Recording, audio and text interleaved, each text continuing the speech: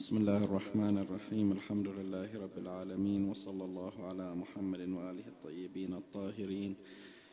واللعن الدائم الأبدي على أعدائهم من الآن لقيام يوم الدين. السلام عليكم جميعا ورحمة الله وبركاته. أبارك لكم هذه الذكرى العطرة ذكرى مولد السبط الأول الإمام أبي محمد الحسن المجتبى سلام الله عليه. وأسأل الله سبحانه وتعالى بحقه وحق جده وأبيه وأمه وأخيه أن يفرج عنا وعنكم فرجا عاجلا قريبا كلمح البصر وهو أقرب من ذلك يا كريم. وأن يجعلنا ممن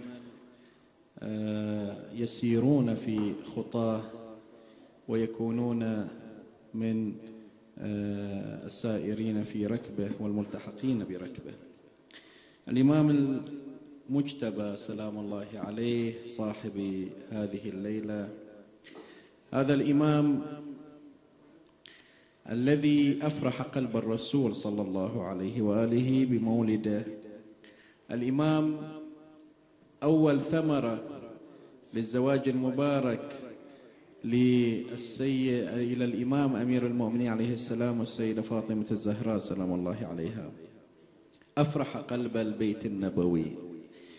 هذا الإمام آه الذي يعتقد البعض أنه آه مختلف الأسلوب عن الإمام الحسين سلام الله عليه. وفي الحقيقة هو غير ذلك بل بالعكس الإمام الحسن كان هو المؤسس إلى آه الخط الثوري للإمام الحسين سلام الله عليه.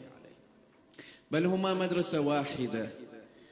الرسول الأعظم صلى الله عليه وآله وسلم يقول الإمام الحسن أو الحسن والحسين إمامان قاما أو قعدا هما يعني في منهج واحد في خط واحد في خندق واحد.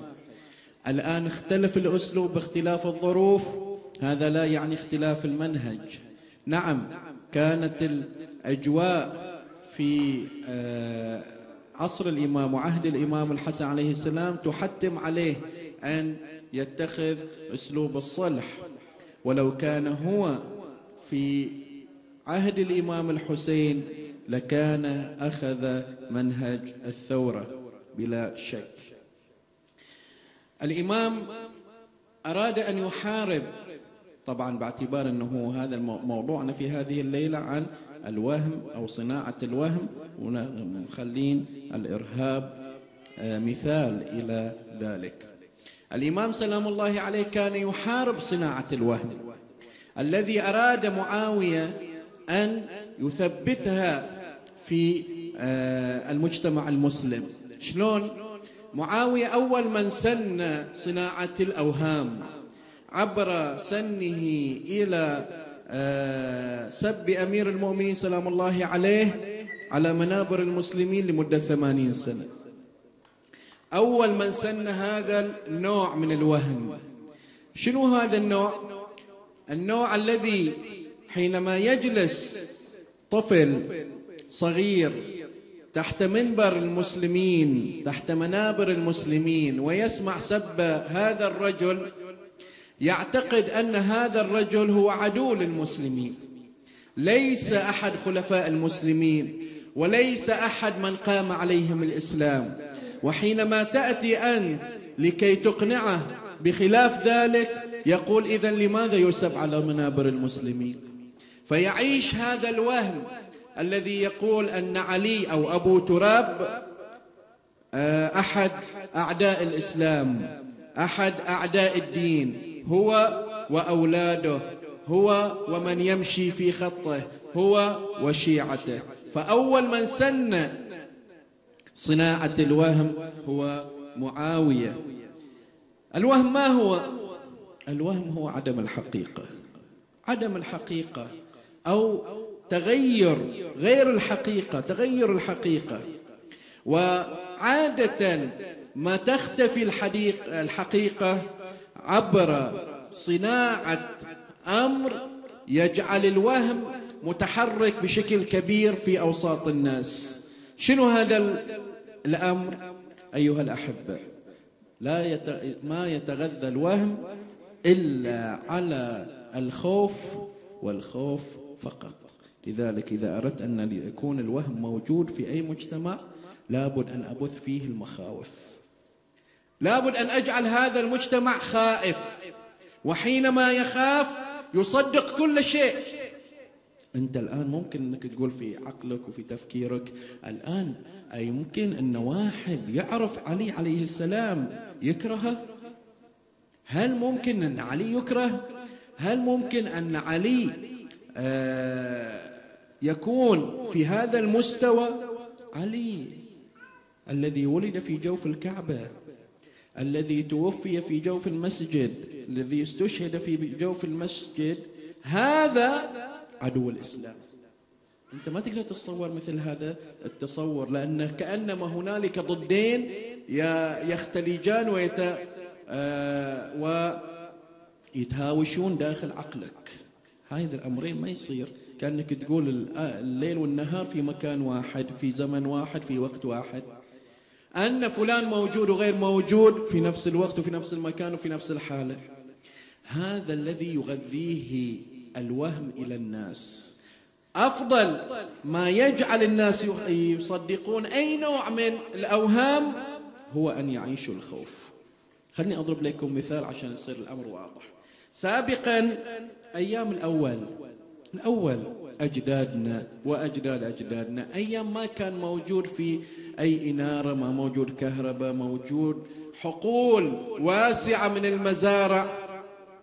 وهذا الرجل لما يروح إلى المزرعة بالليل عشان يروي الزرع يسمع صوت حفيف نخل ما شابه لأن الجو يساعد على الخوف ظلام. وصوت وماكو أحد. شنو اللي يجي في التفكير؟ أن هذا الصوت العقل يقول ماكو سبب ماكو سبب إلا بمسبب. هذا الصوت أكيد وراه سبب. الآن أنا عشان أقنع نفسي شنو هذا السبب؟ شنو هذا السبب؟ أروح أخترع شخصية. أخترع شخصية وهذه الشخصية أرميها على الجان لأن الجان ما يرون. وأعتبر أن هذا هو أحد الجان الذي جاء ليخيفني ليخيفني. ولما جاء ليخيفني وجيت أنا أتكلم إلى الناس أمس بالليل في الظلام في كذا وأعطيتكم الأجواء كامل. ولما أنت عشت الجو كامل في الظلمة وتعرضت أنا مثلا إلى مثل هذه هذه الحالة ومثل هذا المكان المظلم المخيف المليء بالأشجار بالأصوات الغير مسببة. أصدق هذا الكلام. شنو اللي خلاني أصدق؟ خوفي. لأن خوفي يقول إليك ماكو شيء بدون سبب. فإذا هذا هو السبب. الجني اللي اسمه سويتشن اللي اسمه كذا اللي اسمه اللي اسمه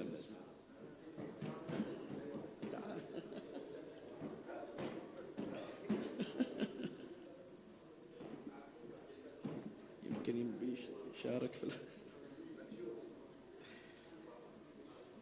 زين جوية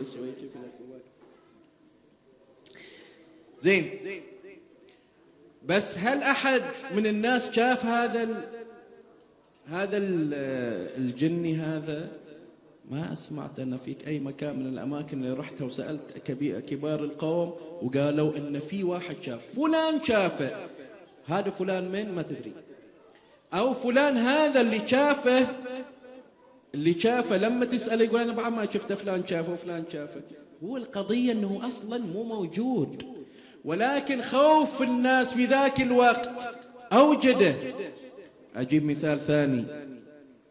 أنتوا هذا المثال ضربته في إحدى الليالي لما كنا نتكلم الظاهر عن كمائن الشيطان. قلنا أن الشيطان يستغل أوهام الناس القوى الوهمية الموجودة عند عند الناس. شلون يستغلها؟ عندنا مثلا إذا واحد توفي بالليل يستحب أن يؤخر تؤخر جنازته إلى النهار. ولما تؤخر جنازته إلى النهار يستحب أن يجلس أحد من المؤمنين وياه. طبعا الأول ماكو ثلاجات يخلونه في الثلاجة إلى النهار لا. يجلس واحد وياه من. من المؤمنين يقرأ عند رأسه القرآن إلى النهار.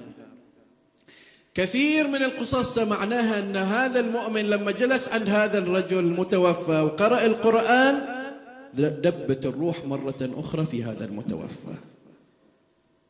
وجاء يقول لا ما مات تعالوا تأكدوا يمكن ما مات يمكن يمكن يمكن يمكن. طبعا هو ميت لكن الخوف من الجلوس مع الميت حركه خلى هذا الميت يتحرك. يوصل الخوف إلى درجة يخلي الميت يتحرك يخلي الميت يرد يعيش مرة ثانية. هذا الذي يعتمد عليه كل من أراد أن يبث وهما من الأوهام في المجتمع. لابد أن يعيش هذا المجتمع الخوف لكي أبث أوهامي كما أريد. وهذا اللي تعتمد عليه كل الحركات الإرهابية. لازم أخوفكم مني. لأنك إذا خفت من عندي الصوت اللي يزعجني والصادر من عندك. راح يسكت. وأنا ما أريد أسمع هذا الصوت فلازم أخوفك. وشلون أخوفك؟ لازم أراويك سلطتي غضبي فرعنتي طريقتي في القتل طريقتي في إنهاء حياة الناس. وهذا اللي قاعدين يسوونه كل من يشتغلون في هذا الإطار. وأنتم جايين تشوفون أنه الأمر آه، إذا كان واحد آه، مثلا هذه داعش سوت كثير من الأعدامات ليش يحتاج إلى أن يصور طريقة الأعدام بأحدث التقنيات بأحدث الطرق من جميع الزوايا؟ ليش؟ ليش يحتاج إنه يبث طريقة الأعدام بهذه الطريقة؟ ليش؟ ليش يريد إن الناس تعرف أن بهذه الطريقة أنا أعاقب من يعترضني؟ ليش؟ أنت تفكر وماكو إلا نتيجة واحدة أنه يريدك أن تعيش الخوف منه. ولما تعيش الخوف منه هو يقدر إنه ينفخ روحك كما هو يريد. ليش؟ إذا كنتون أنتون خلافة على منهاج النبوة لماذا لا تقومون كما قام رسول الله صلى الله عليه وآله وسلم ب آه، لما كان يصدر أمره بإعدام أحدهم؟ كان يعدم بالسيف. زين وأنتم خلاف عن منهاج النبوة في كل شيء؟ لماذا لا تعدمون بالسيف كما أعدم الرسول؟ القضية أنه يريدك أن تعيش الخوف. ولما يتمكن من أن يجعل الخوف حليفك بعدين يقدر يسيطر عليك. يقدر يسيطر عليك ولما يقدر يسيطر عليك يقدر أنه يتحكم فيك كما يريد. الآن ماذا يساعد على انتشار الوهم؟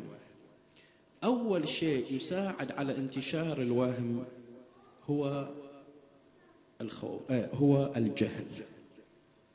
هم يتغذون ويعيشون ويتربربون ويتربون وينبتون وتنبت أفكارهم في المجتمع الجاهل.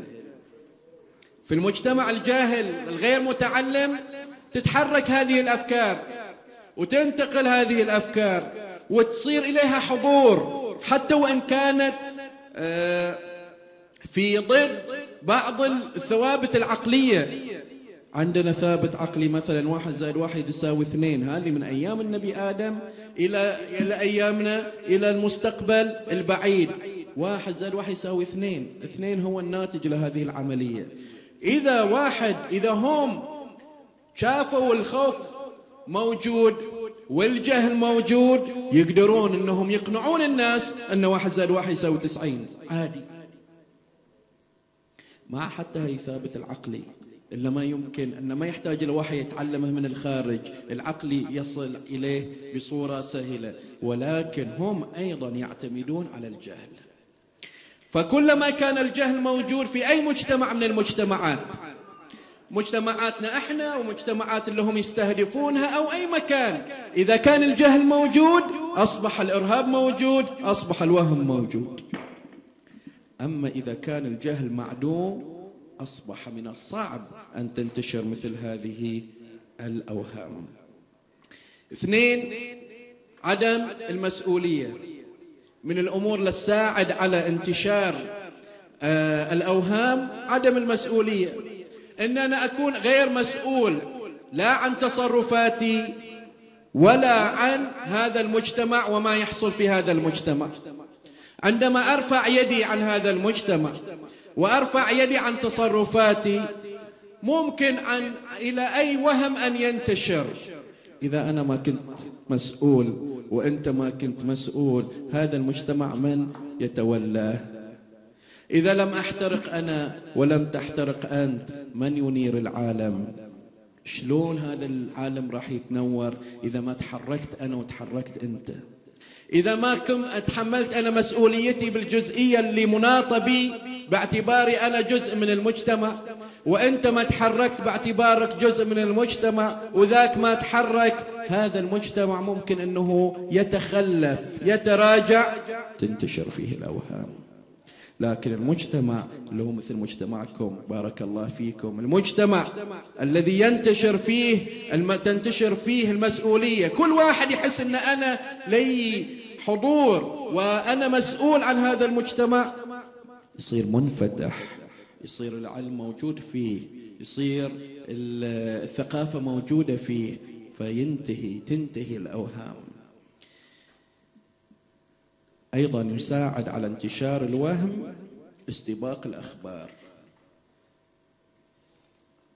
في البعض عنده أعتقد أن هذا شيء يأثر على داخليا أنه لابد يصير أول واحد ينشر الخبر. ما أتكلم عن الصحفيين أنا.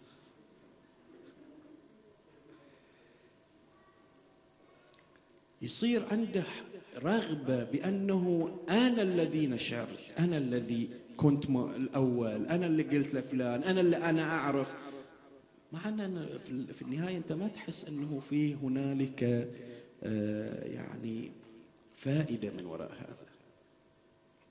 خصوصا الأخبار التي تمس آه، هدوء المجتمع. إذا أنا جيت ونشرت وهم يعتمدون على ذلك الحين هم ما يعتمدون على آه، وسائل الإعلامية الوسائط الإعلامية في نشر ما يقومون به. يعتمدون على على إن إحنا أنا بصير إعلامي عن داعش وأي شيء يسوونه راح أنشره في كل الجروبات اللي أنا مشترك فيها. أنا صرت واحد ممن يساعد في انتشار هذه الأخبار. الآن تفجير الكويت بالله عليكم اللي صار.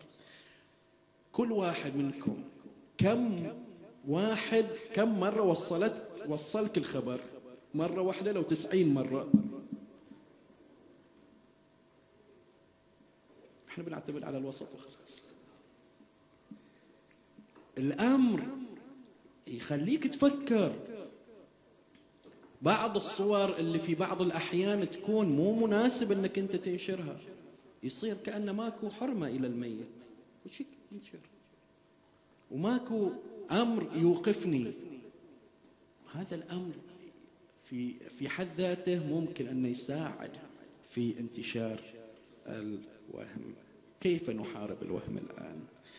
قلنا أن الوهم ينتشر في المجتمع الجاهل الذي لا يعير اهتماما للعلم. فلذلك أحنا وأهل البيت عليهم السلام دائما ما كان يحثون على التعلم. تعلم وتعلم وتعلم وتعلم وتعلم. وأي مؤسسة أيها الأحبة؟ أي مؤسسة أخذت على عاتقها وأي مجموعة من الشباب أخذوا على عاتقهم أنهم يعلمون يجب أن تدعم هذه المؤسسة ويجب أن يدعمون هؤلاء الشباب. التعليم الموجود في المنطقة هذا لابد أن يدعم بشكل كبير. أنا إذا كنت جزء من هذا المجتمع راح أدعمه إما أكون مدرس فيه إذا ما كنت ما أقدر أدرس ممكن أدعمه ماليا. ما أقدر أدرس وما أقدر أدعمه ماليا أدعمه بالحضور. أجي أعمل بيدي. ماكو واحد يقدر يقول إن أنا ما أقدر أدعم التعليم. ممكن لهذه المجموعة التي تقوم وتأخذ على عاتقها عملية التعليم أن مو تصير بس مجموعة بسيطة أو تحمل هم بسيط. لا ممكن أنها توفر طريقة وطرق في التعلم ومعلومات أكثر مما يستطيع أي إنسان يحصل في أي مكان ثاني. فتعلموا تعلموا تعلموا. حضورك في المأتم دليل على رغبتك في التعلم. وحاول إنك أنت تتعلم من المصدر الصافي بالطريقة الصحيحة. لا لا تعطي المجال إلى آه، الأفكار المنحرفة الغير موزونة إنها تشاغب عقلك وتخلط عليك الأمور. أنت لابد عليك أن تتعلم وتتعلم وتتعلم. أمير المؤمنين يقول من تشاء من تساوى يومه فهو مغبون. لا تخلي أمس مثل اليوم لابد في كل يوم تضاف إليك معلومة جديدة. اثنين ارتبط بالله سبحانه وتعالى.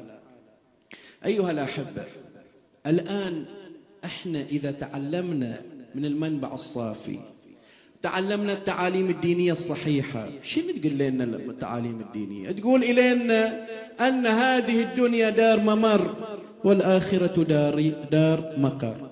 إذا كان الأمر بهذه الطريقة وأنا مغادر الدنيا مغادرها كل نفس ذائقة الموت كلنا سوف نذوق هذا هذا الأمر سنشرب من هذا الكأس. إذا كان الأمر بهذه الطريقة فإذا كان الموت راح أذوقه في كل الأحوال.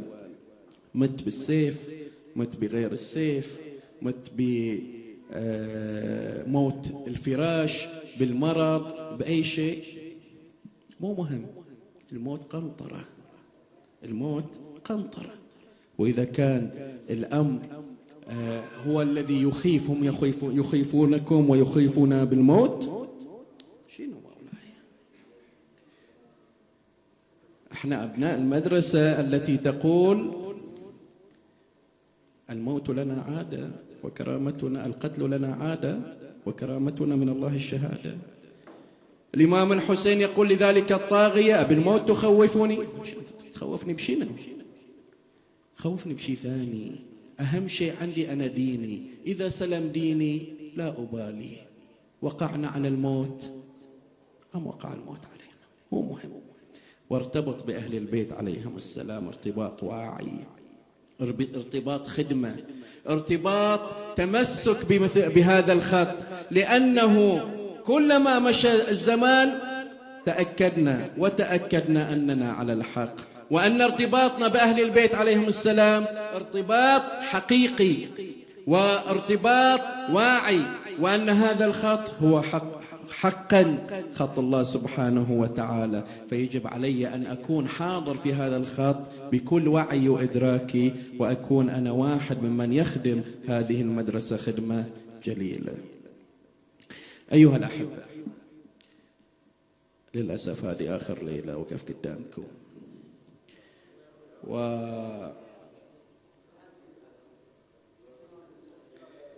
يعني الله يحيينا من الحين السنة الجايه. وياكم فأرجو أن أكون أنا ضيف خفيف أو كنت ضيف خفيف على قلوبكم و وعذرا على أن أنا قلت ضيف لأن أنا حسبت روحي واحد منكم وأتمنى أن تعذروني إذا خرجت كلمة مو في مكانها. قلت شيء لازم ما أقوله. أو تعرضت إلى أحد بأي شيء. الإنسان خطاء. ودائما ما إذا أخطأ يجب عليه أن يعتذر. وإذا اعتذر إلى المؤمنين فالمؤمن أهل للعذر. والعذر عند كرام القوم. مقبول فأرجوكم أن أنتم تسامحوني على أي تقصير. وأتمنى من الله سبحانه وتعالى آه، أن يجمعني وياكم إن شاء الله في خدمة الإمام الحسين سلام الله عليه. وفي أي مكان ثاني وشكرا لكم من القلب. أنا ما أدري شنو باكر بيجي وأنا ما أنا وياكم. ثقيل على قلبي. شكرا لكم من القلب. والله إني أحبكم. سبحان ربي. رب العزة عما يصفون وسلام على المرسلين وصلى الله على محمد وآله الطيبين الطاهرين.